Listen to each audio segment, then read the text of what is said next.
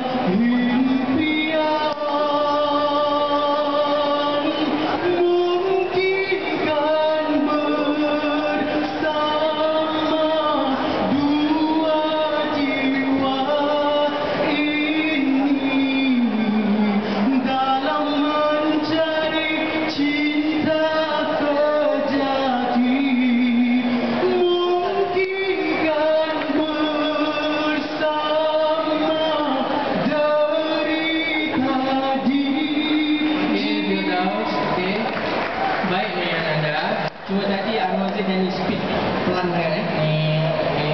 Lebih